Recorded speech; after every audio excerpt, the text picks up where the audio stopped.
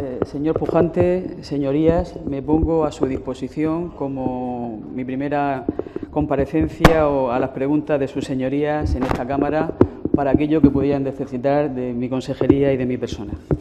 Contestando a la pregunta del señor Pujante, pues le tengo que manifestar que con la disolución de Giscarsa su gestión es íntegramente asumida por el Servicio Murciano de Salud, que se ha extinguido la relación laboral de todos sus trabajadores mediante un expediente de regulación de empleo asumiendo el Servicio Murciano una deuda con entidades de crédito de 159 millones de euros por la construcción de los nuevos hospitales de Cartagena y del Mar Menor, siendo el valor contable de los hospitales que han pasado a formar parte del patrimonio del Servicio Murciano de 221.102.518 euros. Muchas gracias.